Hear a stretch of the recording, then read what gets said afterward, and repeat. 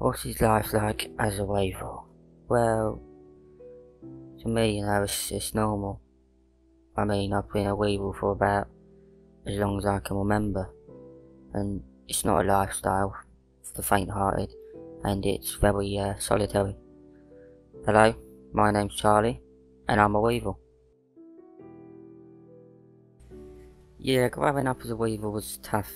You think how many times you've been outside and seen a group of weevils walking about? Never. Um, for one, there's the name calling, penis nose, cockface, dick snout, and those are some of the nice ones, let me tell you. Um, I vividly remember one day when I was a tiny little weevil, um, on my way back from school to our house, a bombardier beetle kidnapped me and vigorously wiped my face. Yes. Uh, sure, I had, a close childhood friend. Uh, he didn't talk much. He wasn't much of a talker like me, but we had lots of fun nevertheless. We would always play this one game called uh, Insect Tag. Uh, it's exactly the same principle as normal tag, just for insects really. Uh, his name was Andy the Ant, and at the time I thought nothing of it but thinking back, I'm about 99% sure he was trying to eat me. Yeah, no, he was definitely trying to eat me. I think I speak for the majority of weevils when I say we are not vicious creatures. We are extremely passive, to the point where we actually see it as impolite if we survive after an intense chase with a hostile predator. I've actually seen hundreds of my kind die before my very eyes. Grandfather, grandmother, mother, father, sister, brother, cousin, uncle. I've actually had love in my life on 15 separate occasions.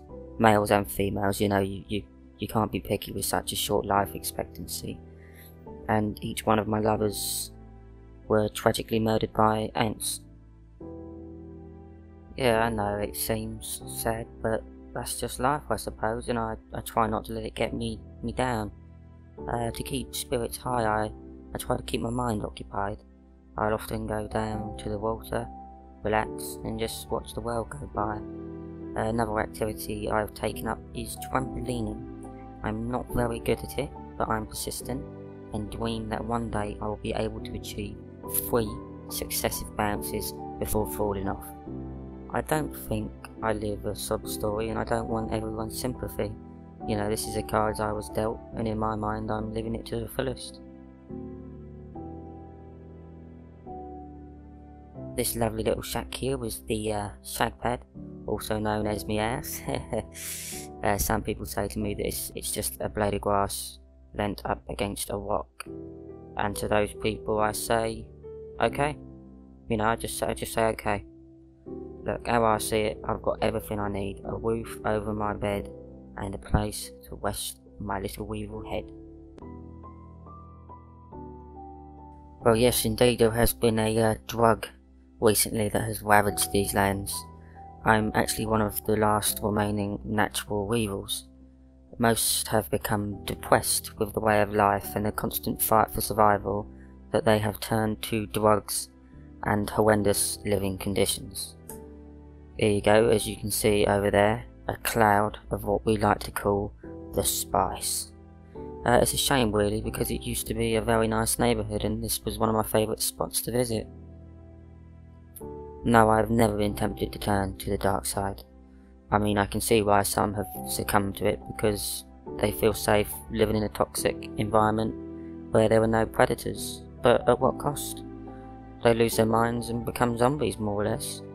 Although they may look like weevils, they aren't. They are extremely hostile, so much that they'd even kill themselves to harm someone.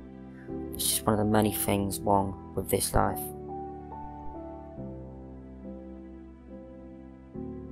What does the future hold for me, a humble weevil like myself?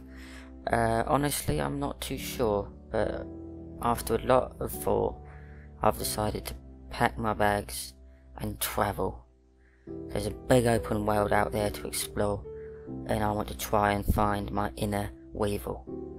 Um, I'm not planning on returning, so this is me, the last you'll ever see of me. I keep on looking and moving forward. And when I find what I'm looking for, I'll set up a little house and live out the rest of my life a happy weevil.